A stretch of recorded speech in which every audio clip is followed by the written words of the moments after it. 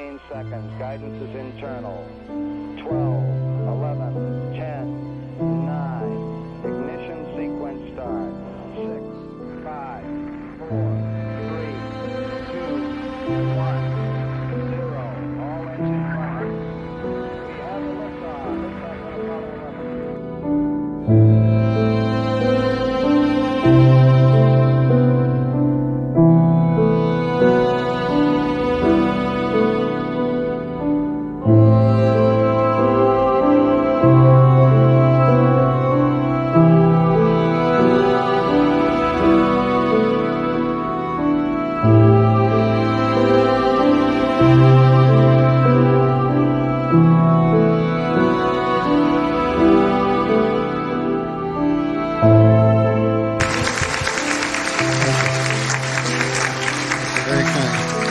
Much appreciative.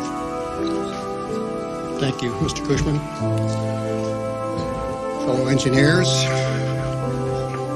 honored guests, ladies and gentlemen. Uh, it is National Engineers Week, and I'm honored to be speaking on behalf of the National Academy of Engineering and our nation's professional engineering societies.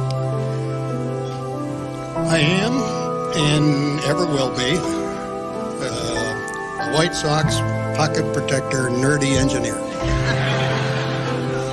Born under the second law of thermodynamics, seeped in the steam tables, in love with free body diagrams, transformed by Laplace and propelled by compressible flow.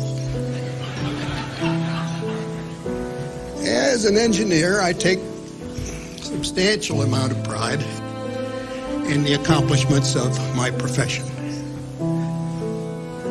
Dr. William Wulf, President of the National Academy of Engineering, has said, science is about what is, engineering is about what can be.